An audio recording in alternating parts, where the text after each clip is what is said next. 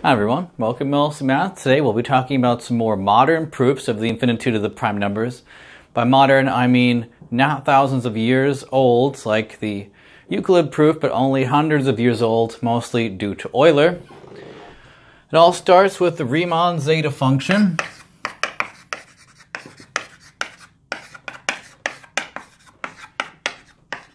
It's defined as zeta of a variable s is the infinite sum from n equals 1 to infinity of 1 over n to the s, which you can show by writing this as an Euler product, which we're not going to do here, though it's done in many other YouTube videos, uh, by using the sieve property of the prime numbers.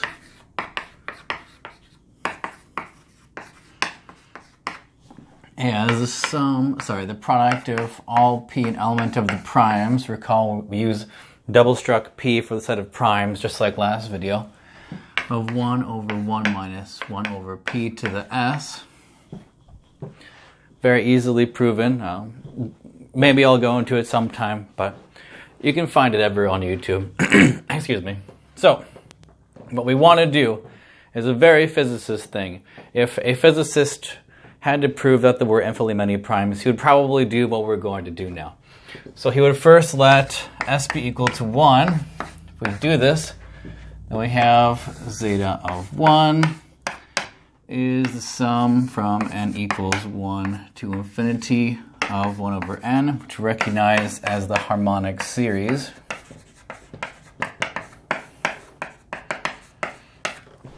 And if we put in 1 for s on the other side here, product of all the primes of 1 over 1 minus 1 over p, which upon multiplying top and bottom by p is the product of p of p minus 1 on the bottom. Now let's go ahead and plug in some numbers just for explicit example here. Left hand side we have 1 plus 1 half plus 1 third plus 1 quarter, etc., all the way to infinity. On the right hand side, we have a prime on top divided by the prime minus 1. So let's go ahead and write that. First prime is 2. It's 2 over 1. Next prime is 3. 3 over 2. Next one is 5 over 4. And then 7 over 6. And then not 9.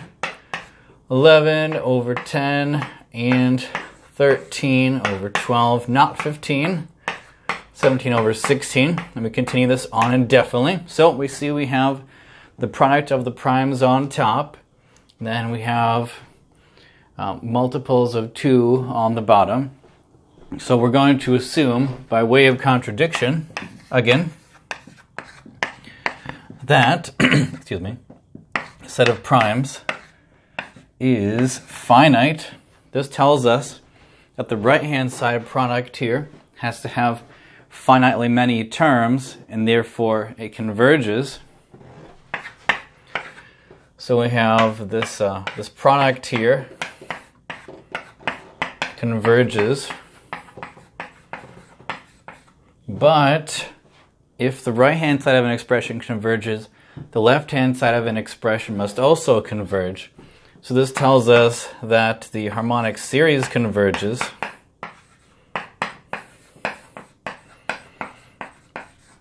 Which we know is definitely a contradiction since the harmonic series diverges.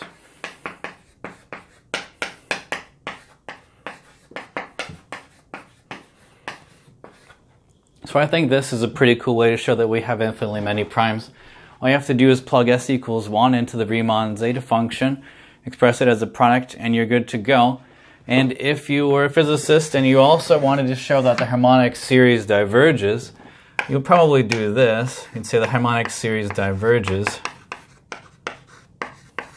since by the integral test, integral from 1 to infinity of dx over x is just the natural log of x evaluated at infinity and 1 is log of infinity minus, sorry, that looks like an 8, not log of 8, minus, uh, minus log of 1, which is 0, of course, which is infinity. There are, of course, other ways to prove that the harmonic series diverges, and in particular, if you were a mathematician, you could also use this, but you might want to use something that uses less machinery, and that's the theme of this proof as well. A mathematician would not necessarily be satisfied with this proof, since it uses the machinery of the Riemann zeta function and the Euler product, which are very complicated mathematical objects, tell you something very simple about the primes, which are the, one of the simplest mathematical, mathematical objects, and definitely the simplest object in number theory. So when Euler developed this, mathematicians wanted him to derive the same conclusion without explicitly using the zeta function. And you can do this. Definitely possible for you to do this. You just need some additional, more fundamental tools. In particular, all you need to obtain the same conclusion is the geometric series formula and the fundamental theorem of arithmetic, which we are going to state now. First, geometric series. So we're going to be using the following. Uh, geometric series formula, sum from k equals 0 to infinity of, um, sorry, x to the k. x to the k is equal to 1 over 1 minus x for absolute value of x less than 1. We know this from high school, no problem. We're going to need a more advanced form of the fundamental theorem of arithmetic than we used the previous video. Excuse me. So, fundamental theorem of arithmetic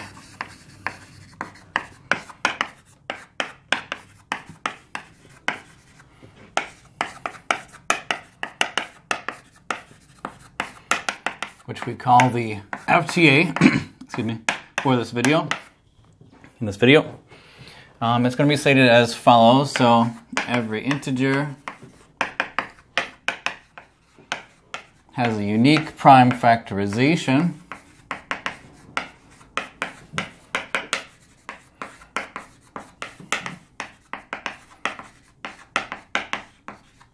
And the form that we need in particular written out in symbols is as follows.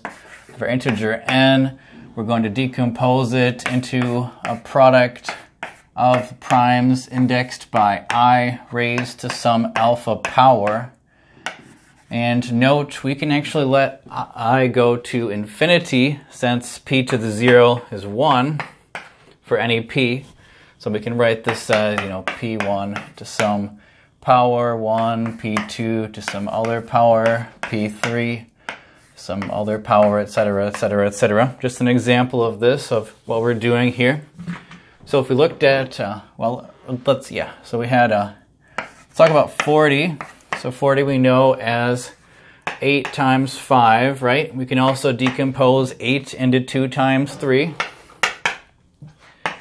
2 cubed times 5. This is its prime factorization, its unique prime factorization. And we can also add a bunch of terms that are 1 as well if we wanted to. So there'd be 7 to the 0, there'd be 11 to the 0, and you know, we skipped 9. We're going to add 13, skip 15, but not 17. This continues on forever. So this is what enables us to write it as an infinite product It's to be necessary in this application, but for most purposes, you don't need it to be infinite. But we do here. So let's go ahead and write the, the FTA here. We have n is the product of all the primes to some power. Excellent. Now we can begin Euler's proof.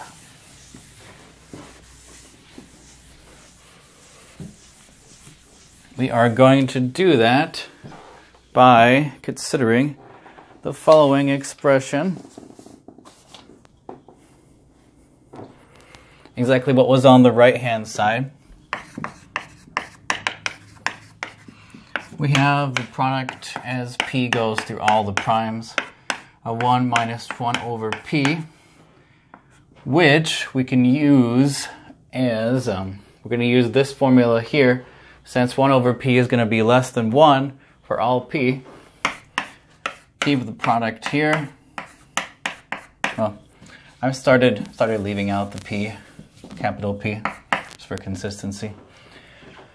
Then we have 1 over P to the kth power, but now we have to put a sum.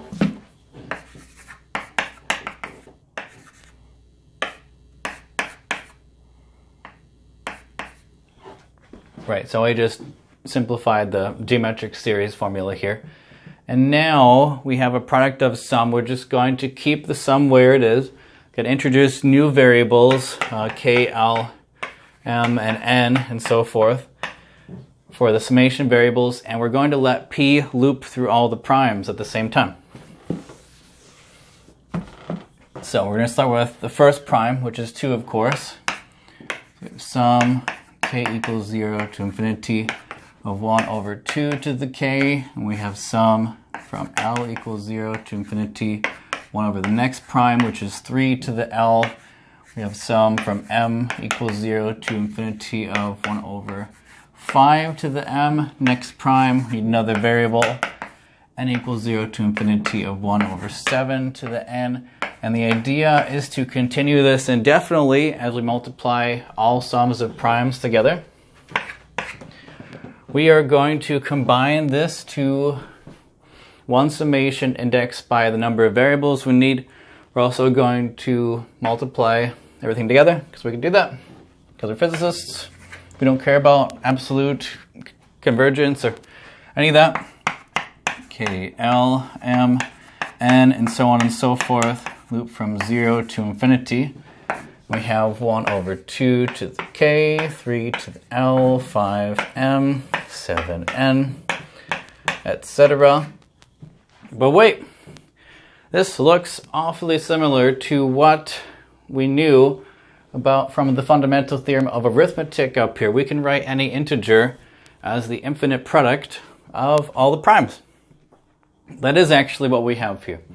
This is nothing but sum from n equals 1 to infinity of 1 over n, which we recognize as the harmonic series.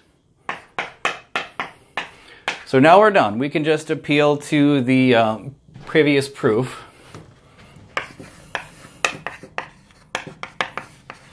By the previous zeta function proof. We have that the cardinality of the primes is in fact infinite because we have same situation here, harmonic series equal to the product of the primes in some way, some complicated way. Left hand side and right side have to either converge or diverge together. That's what we have here. So you see, main message of what we did here is we can arrive at Euler's conclusion about the harmonic series and the product of the primes without invoking the zeta function, making the mathematicians happier because all we've used is the geometric series formula and the fundamental theorem of arithmetic, which are definitely fair game to prove simple things about the primes, like how many primes are there. And for this next proof, it's a bit more involved. It's a bit more modern. I'm not really sure who the author of this prime is. If you look on Wikipedia page for Euler's theorem, oh, sorry, I'm getting all these proofs from uh, Euclid's theorem. So yeah, I'm getting all these proofs from the Wikipedia page, Euclid's theorem. Feel free to look them up to your, yourself if, if, if, you want to find a few more. Um, the ones that I showed you, I pretty much copied straight from there, but filled in the steps a little bit and simplified the notation and showed you where they came from. This next proof is totally off the walls. There's a lot of missing steps that I had to fill in, and Wikipedia says it could be original research. So we'll see how it goes.